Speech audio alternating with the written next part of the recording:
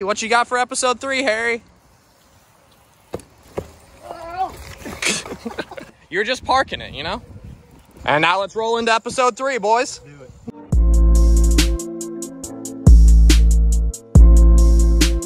I'm loving it. Oh, look at him, look at him, look at him. What's happening, big guy? Guys, this is my new roommate. He goes by the name of Oliver. Um, he's super adorable and cute. That's about all I got for you.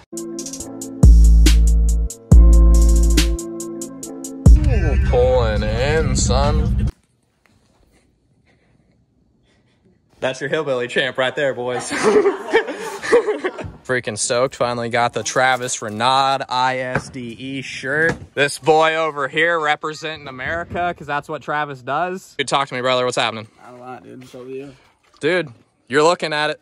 Just looking at it, just gonna chill. Gonna Uh, same shit, different day, you know? Dirt bikes is all I do.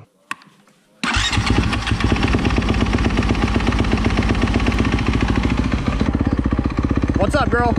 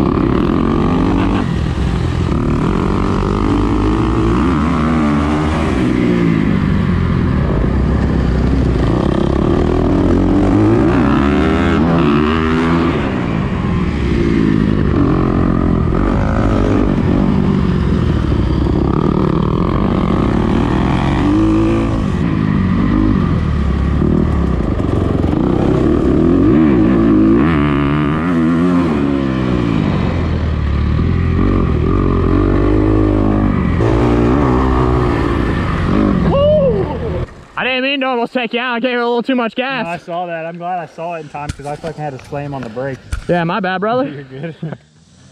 Yeah, you want to lead, Harry?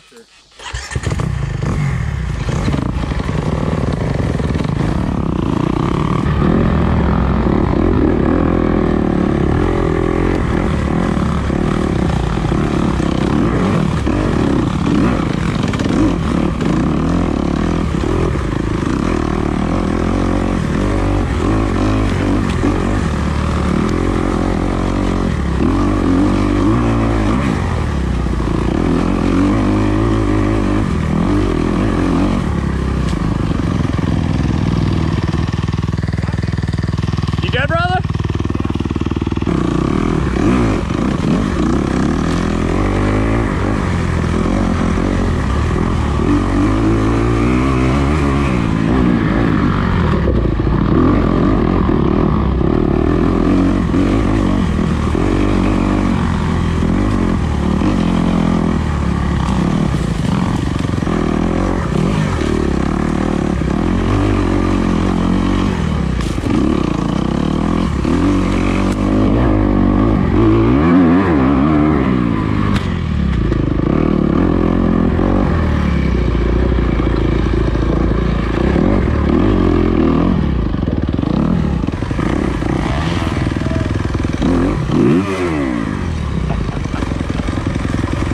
The same